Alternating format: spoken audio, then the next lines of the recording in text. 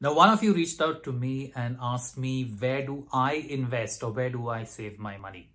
In this video, I'm going to talk about where I am investing in this year, in the year 2022, where I'm not investing and what are some of the mistakes I have made, which you probably don't need to make.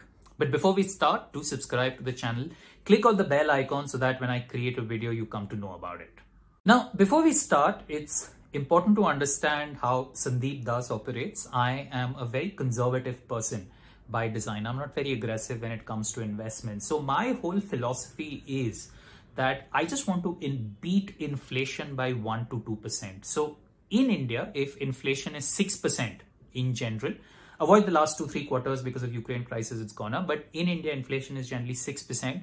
I want my portfolio to give about seven and a half to 9%. So I'm beating inflation and I'm making real money. And what I really don't like is because I'm conservative, I don't like the wild fluctuation.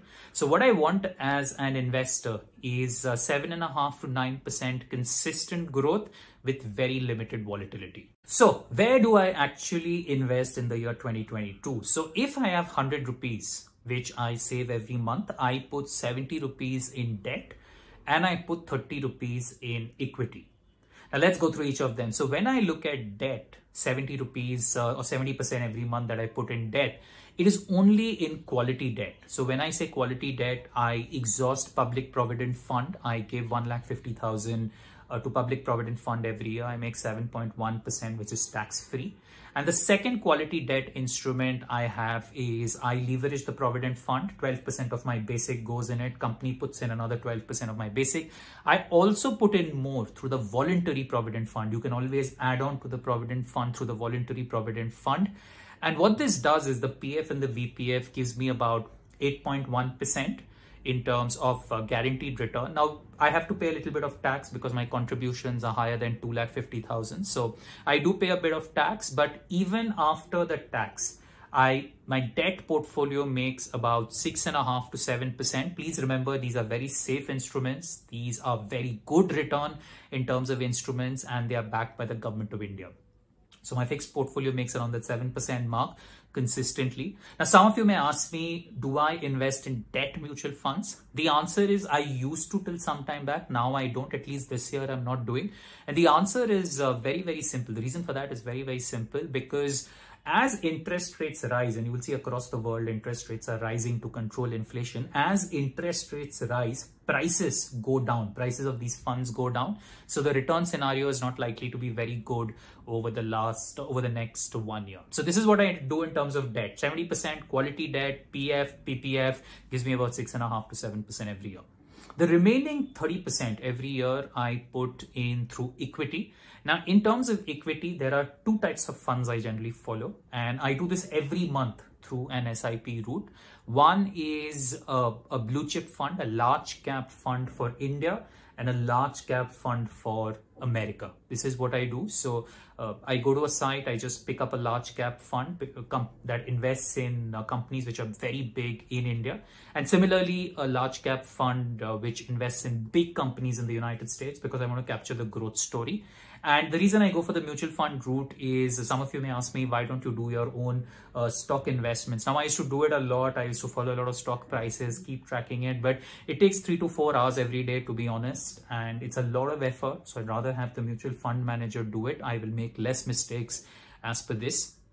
So I do large cap India, large cap US. And the reason I don't do small cap and mid cap is I think there is too much uh, fluctuation, too much volatility. They give you a high chance of a higher return, but the downside is also huge. So my equity portfolio, which is a large cap India, large cap US, 30% every month, gives about eight and a half to 10%, eight and a half to 11%, depending on the year. I pay about 10% tax on it.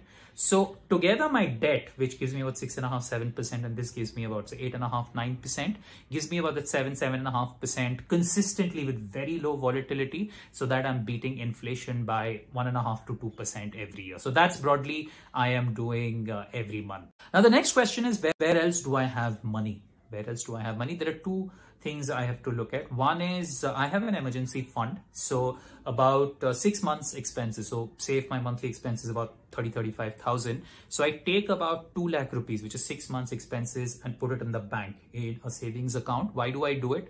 It's just for an unforeseen emergency. Could be a medical crisis could be crisis of any form.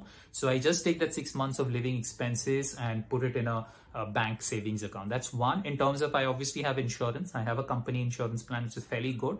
And i also maintain my own insurance uh, for myself. So these are the two personal investments I make outside the 70% debt and the 30% equity. Now the next question is where do I not invest? Now I told you that I do not invest in debt mutual funds now. I do not invest in stocks. I don't invest in large uh, mid caps and small caps. I also do not invest in the following. So one is if you've been following my YouTube channel and my LinkedIn profile, you will know I'm not a big fan of crypto. I'm not, I do not invest in crypto. I do not invest in P2P. You should definitely not invest given what's happening right now maybe in the future if things stabilize if they come under regulation i will see. So i do not invest in any of the instruments as part of decentralized finance. I don't invest in gold but i think there's merit to investing in gold. I should ideally keep uh, 5% of my uh, investments in gold. And even if i buy gold in the future i'll probably do it through digital gold won't buy actual physical gold and the third thing I don't invest in, probably the most important point, is I do not have any credit card debt. Now, credit card debt is the worst kind of poison you will have. So when it comes to credit card usage, I always ensure that I will only buy amounts which I can fulfill in the next monthly cycle and I'm not going to carry any form of credit card debt. So I'm also debt free which means also I sleep at night. So this is in terms of what I am doing every month this year. So where are you investing and where are you saving? Do drop your suggestions in the comments box. If you have any questions, do drop them in. I will try and answer as many as I can. Before we end this video, do subscribe to the channel, click on the bell icon. Until next time, take care.